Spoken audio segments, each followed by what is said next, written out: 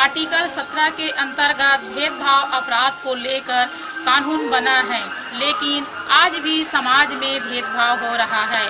ऐसी गाँव डूमर टोला जहाँ ले चलते हैं। मेरा नाम किंसुराम चौरे है। जाति मोची डुमरलग निवासी हूँ।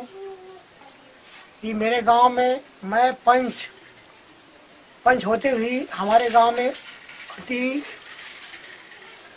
छुआछूत की भावना से हम लोग पीड़ित हैं। हम किसी यहाँ खाना खाने जाते हैं, शादी, ब्याह, नामकरण, इसमें हमें अलग बिठाया जाता है। अपने पत्नी को हम स्वयं फेंकते हैं। इसलिए हमें तकलीफ़ हो रही। हमें बहुत परेशानी झेलना पड़ता है। दुख में, सुख में, हर चीज़ में परेशानी झेलना पड़ता है। जब कोई आदमी ख़त्म हो जाता है, उसमें हमारे यहाँ साथ नहीं देते हैं, नहाने नहीं जाते हैं घर में बैठने नहीं आते हैं।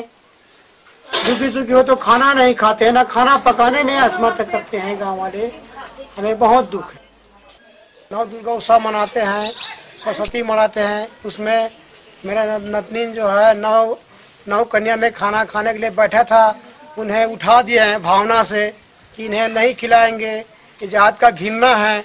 ऐसे उन्हें उठा दिए। हमें बहुत बेकार लगा और हम लोग वापस आ गए। क्या करता भाई? हम लोग अछूत है, इसलिए हम वहाँ पर शामिल नहीं हुए। हालाँकि चंदा देते हैं, सहयोग देते हैं हर चीज़ का। लेकिन हम लोग वहाँ से आ गए। हमारे बच्चे लोग आ गए, अपने आप को हम संतुष्ट हो गए हैं। अपने क्या करें भाई, गरीब आदमी, किससे लड़ेंगे?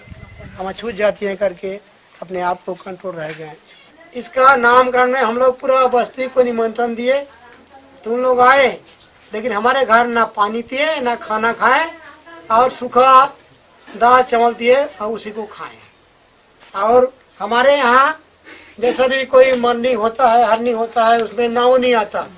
हमारे अंतिम संस्कार के लिए जो हम मुंडन होते हैं, अपने सामाजिक स्तर में, उसमें नाव नहीं आया, नहीं आता है, ना हमें सामान नहीं बनाता है। आप सब लोग जानते हैं कि दलित समाज कोई अलग नहीं है, वो भी इंसान है। उन्हें भी मतलब सम्मान पूर्वक जीने का अधिकार मिलना चाहिए। इस तरह की समाज में जो भेदभाव हो रहा है, इसके लिए सही करने में मदद करें। मैं भान साहू, छत्तीसगढ़, इंडिया अनहट के लिए।